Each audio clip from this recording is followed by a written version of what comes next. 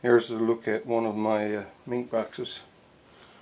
It's a burnt out tree stump on a tree. I made several of those a few years ago and put conibears in them. I just leaves them in the woods. That one I bought on last night because it needed a bit of fine tuning and one of the springs was uh, well not very good so I put a wire around right across here and I just drops the bait in that one there and lets it freeze in. Pours a bit of cod liver oil around it and uh, it's good for the year. Actually that one was in the woods for the last well, five or six years or more, seven years. And it works really well. There's old conibear traps. Uh, I'd say they're 20 years old or more. New springs on them.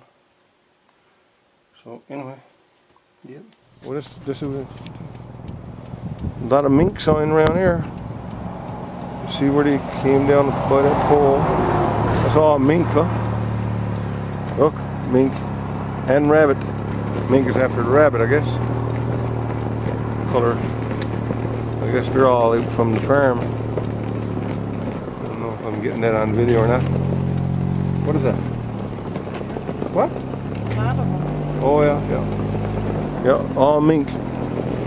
Mink tracks everywhere here. Look. See where they slided down on the on the snow right there. Oh yeah.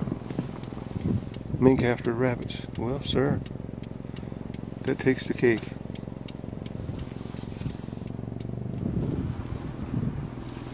This is unreal. This is what you call mink tracks. Uh, all mink tracks right there. And uh, you can see the slides. So the prices of the mink is down and this is what happens. We got mink, mink, mink everywhere. Yeah. You can see all along the road. So they're out feeding on the rabbits.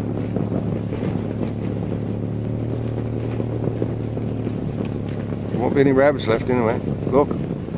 boys, unreal. Nice big tracks too.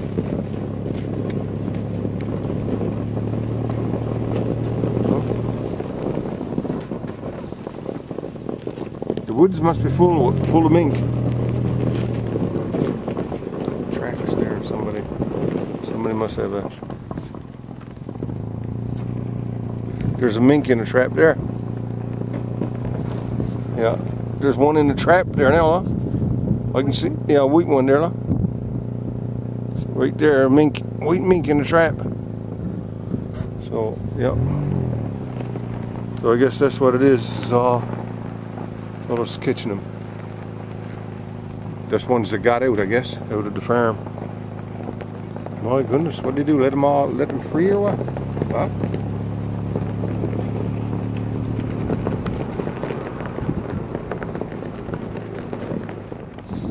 Okay, there's lynx track right there now. Big one too. Really nice lynx come out. Gone in right there in the woods.